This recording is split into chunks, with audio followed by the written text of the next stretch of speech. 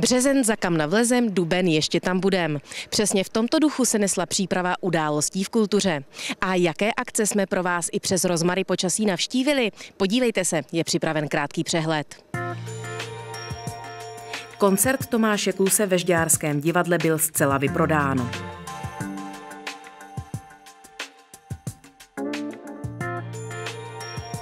Ilustrátor Adolf Dudek vedl v knihovně v Novém městě veselý kurz kreslení.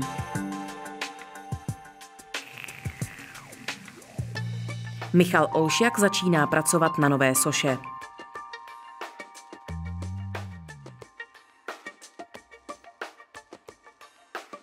Žďárská kapela DOP hraje pro události v kultuře skladbu Terč.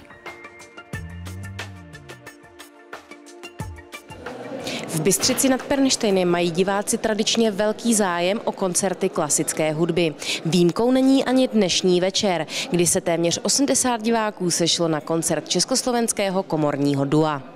Zuzana Berešová a Pavel Burdych se v Bystřickém kulturním domě představili s programem Antonín Dvořák a přátelé. Hudební dramaturgie pořadu vychází z programu Antonín Dvořák.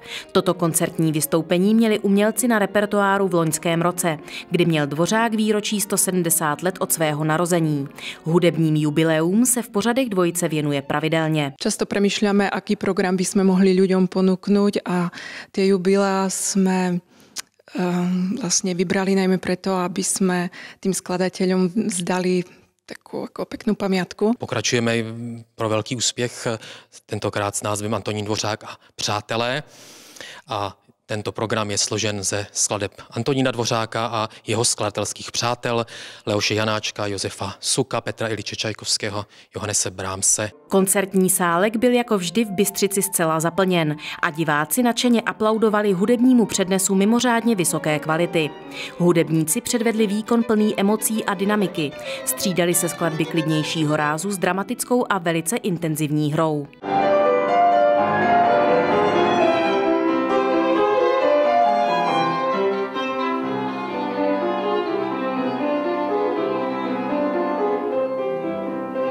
Československé komorní duo hraje společně od roku 2004.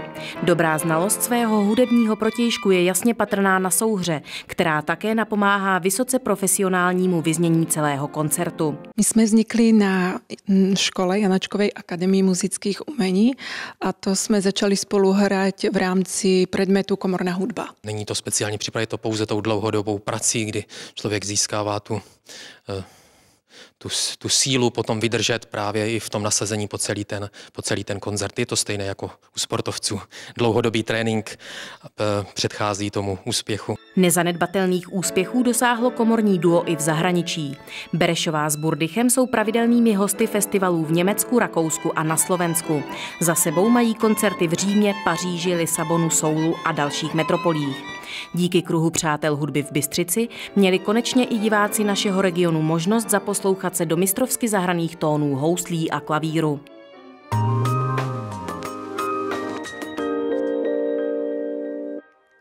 Do Žďáru přijel Tomáš Klus. Zájem o něj je tak velký, že by během chvilky vyprodal Dům kultury. On ale radši komorní prostředí divadel. A tak právě tady čeká na fanoušky tříhodinový nášup písniček, vtipů a improvizací. Mladý pohledný písničkář nebyl ve Žďáře poprvé, jezdí sem pravidelně. Ne kvůli památkám, ne kvůli přírodě, ani kvůli lidem. Vlastně hlavně pro peníze. Žďár nad Sázovou já znám už delší dobu, protože já tady mám, já tady mám uh, svoje bankovní poradkyně. Tentokrát Tomáš do Žďáru nepřijel pro peníze, přijel si zahrát s Jiřím Kučerovským. Slyšet byly písničky ze dvou starších Alp, ale i z Loňského Racka, který mu pomohl ke čtyřem nominacím na cenu Anděl. Odnesl si nakonec dvě sošky a přikořenil zájem o svoji osobu. I přesto všechno zůstává skromný a pokorný. No vůbec to se člověk nenadal. V momentě, kdyby do toho člověk šel právě s tímto cílem, tak si myslím, že uh, už by tady nebyl. Protože já třeba nemám moc rád, když ambice uh, vítězí nad uh, schopnostmi a nebo nad, nějakou jako upřím, nad nějakým upřímným chtěním sdělení. No a vlastně tím, že mě to pořád ještě překvapuje a šokuje, tak eh, se tím stávám poněkud střízlivý vůči tomu všemu. Student DAMu má za sebou i první herecké zkušenosti v seriálu Hop nebo Trop nebo v pohádce Tajemství staré bambitky. Přesto se necítí být hercem. Já se nepovažuji za herce a proto hraju málo. Ale hrajete asi dobře podle ohlasu. Tak to je vždycky na kameramanovi, jak vás zabere, na režisérovi, jak vás narežíruje. Tam je výhoda v tom, že vám každý řekne, co máte udělat. Nezbývá, než se těšit na další filmovou nebo divadelní roli a na další písničky Tomáše Kluse a uklidňovat se tím, že Vežďáře určitě nebyl naposledy.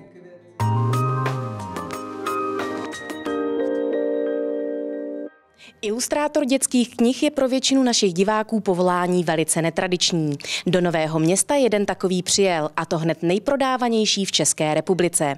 Hostem dnešních událostí v kultuře je výtvarník Adolf Dudek. A my tady jednoho Dudka máme, ale netuším, kde je skutečný pan Dudek. Tak co Dudku, kde máš toho správného ilustrátora pana Dudka? Tady jsem, už jsme tady oba. Dobrý den. Dobrý den, pojďte za námi. Dobrý den, já vás Dobrý vítám den. v Novém městě a před kamerou televize Vysočina. Děkuji vám. Řekněte Děkuji mi... za krásné přijetí. Řekněte nám, s čím jste dnes do Nového města do knihovny přijel, protože vy jste tu od rána a teď máte připraveno něco pro dospěláky, ale dopoledne jste si tu tak trochu hrál s dětmi. Co se tady dělo? Co se asi dělo? No, dělo se tady to, že jsem dětem předváděl práci ilustrátora takovou hodně akční formou a učil jsem vlastně všechny děti v Novém městě na Moravě kreslit. E, to asi není obvyklé, že by ilustrátoři takhle jezdili a snažili se děti seznámit s tou tvorbou akčním způsobem. No, ilustrátor je asi od, příro, od přírody eh, hodně takový introvertní člověk a myslím si, že se trošku vymykám té tvorbě, že jsem takový trošku showman a že ty děti eh, do toho dokážu vtáhnout, že to není taková suchá jakoby přednáška, ale že to je opravdu show. Je to i pro dospěláky, to za chvilku tady v Novém městě vypukne. Můžete nám trošku popsat, jak ten kurz probíhá, kurz kreslení? Kurz probíhá na základě čtyř základních geometrických tvarů, kolečka, trojuhelníku, čtverce a obdélníku a vlastně ti dospěláci kreslí celou dobu pouze tyhle čtyři základní tvary. A pomocí těch čtyř základních tvarů skládají krajinu, postavu, zvířátka, město, úplně všechno. A vlastně i tomu člověku, který si myslí, že nedokáže nic nakreslit, dokážete, že to umí i on, že má takový sebevědomí, že malíř může být každý. Jste přesvědčený o tom, že byste v každém z těch lidí skutečně našel třeba i kreativitu, doopravdickou pravou kreativitu, aby z těch čtyř tvarů nakreslil něco zajímavého? Určitě, proto jsem tady. Za chvilku uvidíte. Kde vy čerpáte inspiraci? Vy žijete rád v přírodě? Jsem si na vás zjistila, je příroda vaší inspirací nebo co je vaší inspirací? No, myslím, že jste si odpověděla sama. Příroda je neskutečná studnice inspirací. Vlastně v té přírodě máte tvary, máte tam barvy, máte tam eh, tok života, úplně všechno je v přírodě. Všechno tam najdu. Aspoň sobě. A zároveň ta příroda slouží k relaxaci mojí. Mhm. Eh, vy se věnujete ilustraci dětských knih. Proč vás oslovil právě tento výtvarný žánr? Čím vás láká dětský svět? Já jsem si to nikdy takhle nestavil, jako jestli budu dělat pro děti nebo pro dospělé, tak přirozeně vyplynulo. Prostě jsem začal kreslit a kreslil jsem pro děti a nic jiného jsem nikdy nedělal. Takže automaticky nějak. Ani jinou výtvarnou techniku jste neskoušel? Ne, já kreslím jenom pro děti. Co jsem vlastně začal, to dělám do dneška. E, máte nějaké své ilustrátory, vzory nebo nějaké své oblíbené knihy, které byste si rád udělal?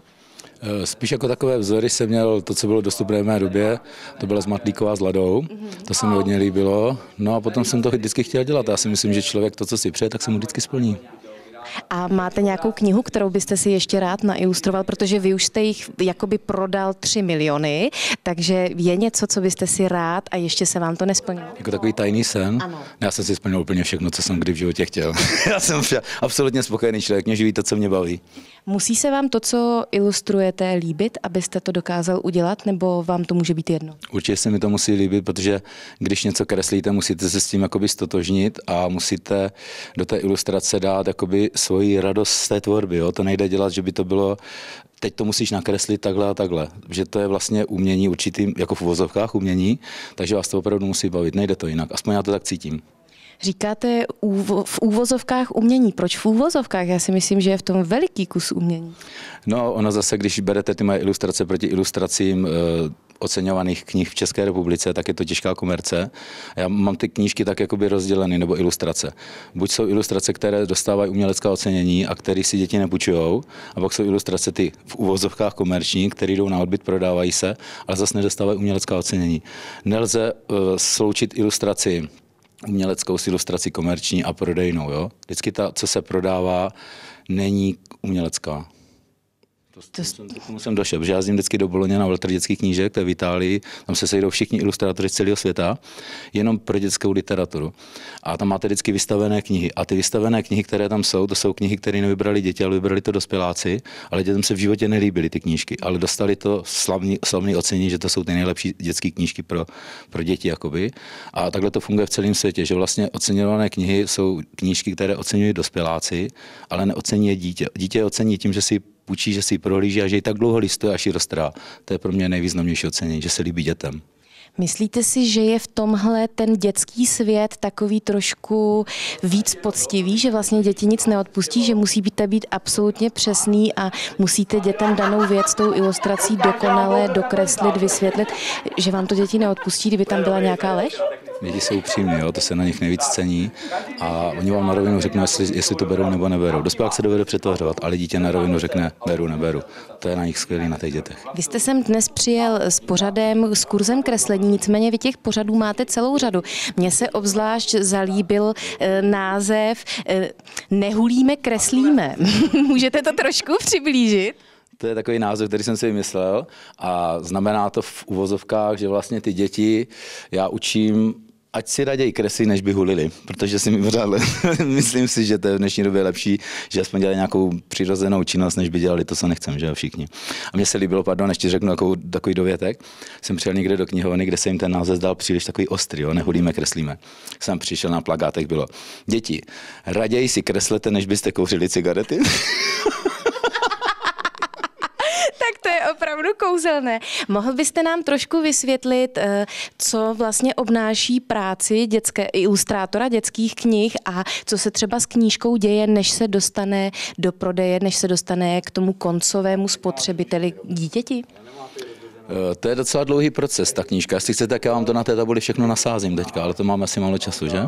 No to asi máme trošku, kdybyste tak nějak ve zkratce. No, tak to asi vzniká tak, že nejdříve je nějaký nakladatel, který dostane nápad, že tu knížku uděláme. Osloví ilustrátora, který nakreslí knihy podle textu nějakého spisovatele, grafik to dá dohromady, to znamená ilustraci s textem dá dohromady na stránku, vytisne se to v tiskárně, No a pak se ta knížka jakoby rozveze do České, po České republice nebo po světě do knihkupectví. To je v kostce vlastně všechno. Teďka, pardon, teďka tu knížku musíte dělat takovým způsobem, aby se prodala, aby se nakladateli vrátil ten zisk. Když tu knížku uděláte umělecky, tak uděláte pár kousků a snad to nevyděláte. A když si uděláte komerčně, tak na tom vyděláte. ale je to tak. No, je to, eh, a vši... Budeme upřímní jako děti, víte, já už jsem takový upřímný jako ty děcka. Upřímně všichni se musíme živit a účty z banky chodí každý měsíc. No, ale hlavně ten nakladatel do toho dává docela hodně peněz, ten má to půl milionu jedna knížka, kdo by to hodil do kanálu, že tak půl milionu. Vždycky se vám to musí vrátit. Dá se říct, že čerpáte i inspiraci z těch lidí, kteří s vámi při těch kurzech kreslí? Určitě, hlavně z těch dětí se to dá čerpat, protože, jak jsem vám říkal na začátku, oni to dají hnedka najevo, oni jsou bezprostřední, hnedka reagují. Dospělí, než ty dospělí, tak jakoby rozstavíte trošičku, jako to trvá tak 4 hodiny 20 minut, ale pak povolí všichni, jo.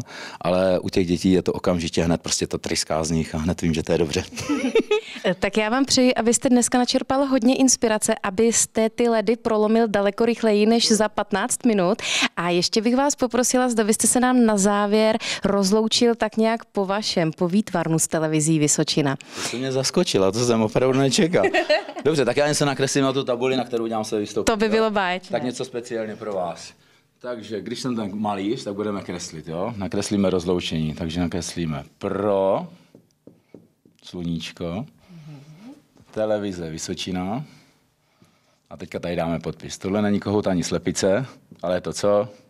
Je to Dudek. Správně, vyhráváte obrázek. Tak, takže tady máte můj podpis Adolf Dudek. Hostem událostí v kultuře byl ilustrátor Adolf Dudek. Děkuji vám.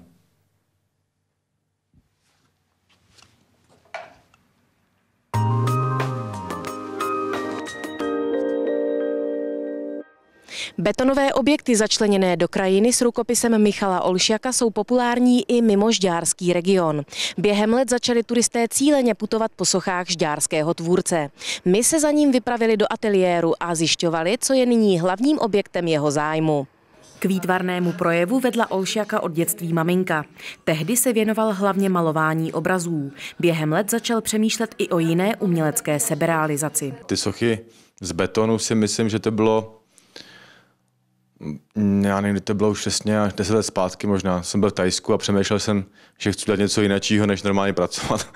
A malovat obrazy jako mě nebavilo furt, tak jsem si říkal, že si zkusím ty betonové sochy, no, jestli to bude nebo ne. No. V současné době je Michalových plastik z betonu a pískovce po Čechách, Itálii a Německu několik desítek. Pracuje pro radost nebo na objednávku. Jeho srdci jsou nejbližší objekty z počátku tvorby. Sochy mamlase a především mamuta. Mně to tam přišlo takový pravěký, no. A hlavně mám rád mamuty. Jo?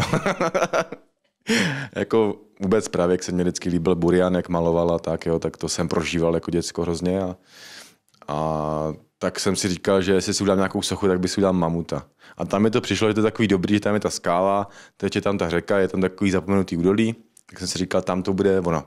Tak jsem to tam udělal a je to tam. Letos přibude mezi betonové monumenty další. Ve Slovětíně by obyvatelé měli rádi Jelena a jako tvůrce zvolili právě Michala Olšaka. Ten se však zabývá především přípravou zcela nového projektu. Teďka chystám jiný projekt, jak chci udělat sochy z písku. Jo, bude to vlastně asi u Pernštejna a bude to pod velikým stanem, bude 500 tun písku, z kterého se prostě udělá takový písečný svět. Jo, a to bude letos moje hlavní práce. To jsem si vymyslela, to tak bude. Mimo to pokračuje i v malování. Nejraději má olejomalbu nebo kombinovanou techniku. Na plátno přenáší fantaskní realitu, krajinu a nejrůznější abstrakce. Záběr mladého výtvarníka je široký a čas ukáže, zda se nechá zlákat nějakým dalším uměleckým směrem. No.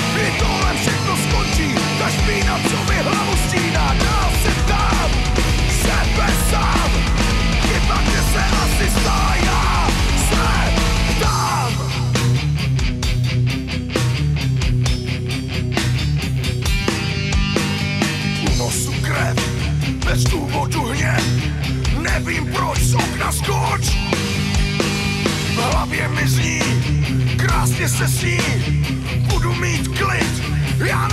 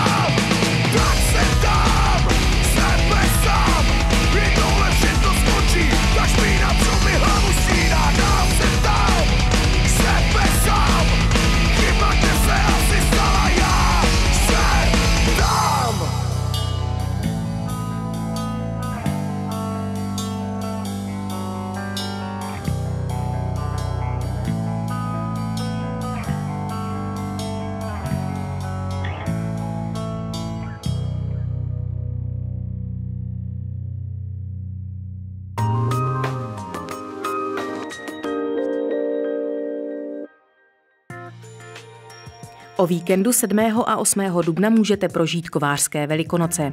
Šlaghamr v Hamrech nad Sázavou se letos poprvé otevře veřejnosti. Pro návštěvníky je připraven velikonoční kovářský víkend. Tančit ve stylu lidu čanky máte možnost 14. dubna v kulturním centru Batiskáv. Zde v 21 hodin startuje Čanky Show. Květa Fialová, Petr Nárožný a Ladislav Trojan se představí v divadelní inscenaci Tři na lavičce.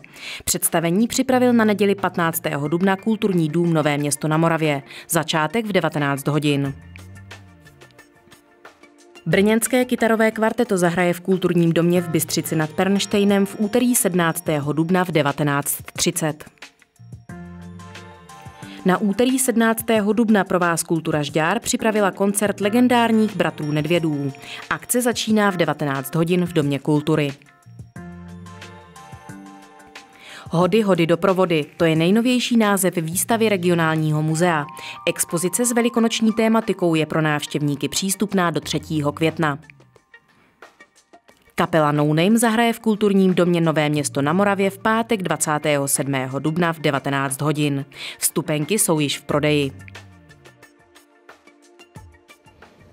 Události v kultuře jsou za námi. Přeji vám krásné jarní počasí, užívejte si velikonočního volna a za 14 dní opět v televizi Vysočina na viděnou. Kultuře zdar.